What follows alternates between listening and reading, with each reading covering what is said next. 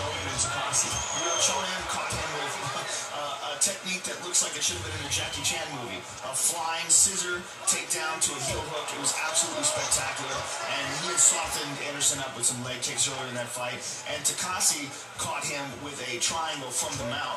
You could say that he wasn't properly trained for either one of those fights and that the Takase fight happened early in his career. But now the Anderson Silva that we see in the UFC is a different animal. You see the complete, fully formed Anderson Silva who's learned from those past mistakes and those defeats. Oh, they're just throwing. Oh, ah, they're exchanging here. And good right hand counter. Fast hands. Good battle inside. Vision is coming away. Both men scoring points here.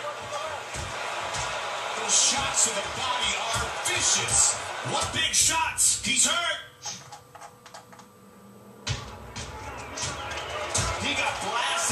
Looks like he snapped back pretty quickly. The crowd showing their support for Jon Bones Jones.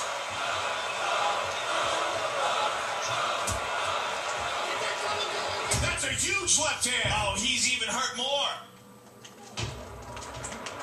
The over-under. Oh, but he recovers. Again. That's Oh, huge suplex. He's looking for a Kimura. great submission defense.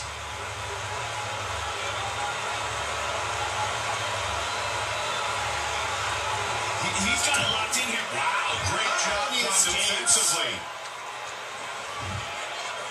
He ain't get one. Oh, to the midsection. Good takedown defense. Zenigar. 45 seconds remains. Oh! Pushing his opponent away. Final 30 seconds. Non-title fight. Scheduled for three five-minute rounds. Oh! And Kitty goes for a ride. Vicious ground and pound. Joe,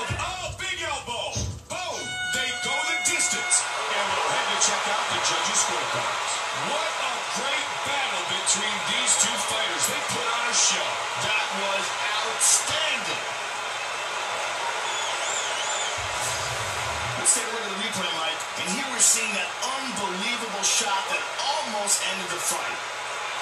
And here we see some real power on display. Fantastic suplex. And here's that chopping elbow that landed on the ground. Amazing action that round, Mike. The judges have rendered their decision. And here is Bruce Buffer. Ladies and gentlemen, after three rounds of action, we go to the judges' scorecards for a decision. The judges score it, declaring the winner by unanimous decision. Anderson,